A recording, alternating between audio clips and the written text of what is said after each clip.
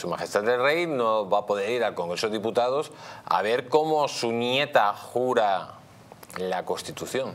Eso sí que es una anomalía democrática, porque el señor que ha sido jefe del Estado durante tantos años, no sé por qué no puede ir a ver a su nieta a ver cómo jura la Constitución. Pero es que ahora hay otra anomalía más, y miren lo que dice esta noticia, dice malestar del rey Juan Carlos tras ser vetada su presencia a la jura de la bandera de Leonor en Zaragoza. Dice Zarzuela confirma que el acto en la Academia Militar del día 7 solo asistirá el rey Felipe VI y la reina Leticia. Aún no está decidido dónde penetrar el rey Juan Carlos I tras la celebración familiar en el Pardo por la jura de la Constitución de la princesa el día 31. El rey Juan Carlos I quería estar presente en la jura de bandera de la princesa Leonor el próximo 7, pero Zarzuela ha confirmado que solo asistirán el rey Felipe VI y la reina Leticia.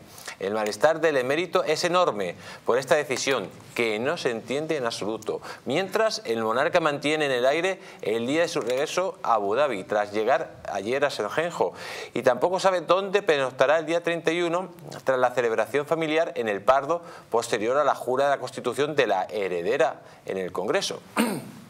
Según explica Voz Populi, desde Casa Real, el acto de la semana que viene en la Academia Militar de la capital aragonesa solo acudirán, como hemos dicho antes, los actuales reyes, porque el emérito no ha logrado convencer a Zarzuela de su presencia, una excepción que tiene muy enfadado al padre de Felipe VI en su nuevo viaje de visita a España, iniciado ayer mismo. El entorno del monarca explica eh, a Voz Populi que tenía muchas ganas de acudir a una academia donde todo el mundo le iba a aplaudir, a diferencia de lo que podría pasar en el Congreso de Diputados el próximo día 31 de octubre. En Zaragoza el rey Juan Carlos I es un referente. Iba a ser bienvenido y ovacionado. Las mismas fuentes señalan en este sentido que quizás se hayan tomado esta decisión para no restar protagonismo ni a Felipe VI ni a la propia princesa Leonor. Pero, señor mm, Dalmao, yo le voy a hacer una pregunta. ¿Cree usted que su gran enemiga también ha influenciado, o ha influido, perdón, para que su majestad, el rey emérito, no esté en la jura de bandera de Leonor? Posiblemente. Lo que pasa es que aquí nos encontramos con dos cuestiones fundamentales. ¿no? Primero, la ejemplaridad que tiene que dar la Casa Real, que muchas veces es empañada con estas luchas. Repito, que muchas veces es empañada con estas luchas. La ejemplaridad la necesitamos en este momento. Y ha habido actitudes de la Casa Real del Rey Emérito que no han sido ejemplares. Y lo tenemos que decir así, y lo tenemos que decir muy claro.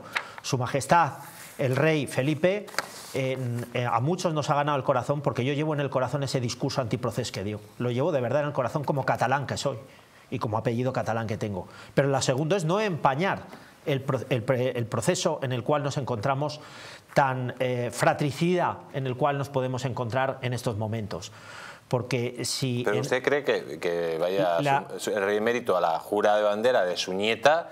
No creo que, que sea ningún problema. Eh, yo entiendo, y además, como decía don José Antonio Vera, que al acto privado, evidentemente, sí debe ir, pero al público no. Porque en este momento. ¿La Academia de Zaragoza no? No.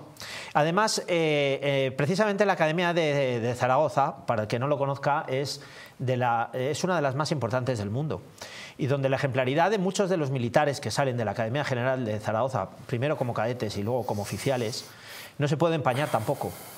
Y cuando ha habido actos que no han sido del todo claros, diáfanos y han podido empañar la monarquía, es mejor retirarse a tiempo que no perder esa ejemplaridad que tiene y que debe tener la Casa Real.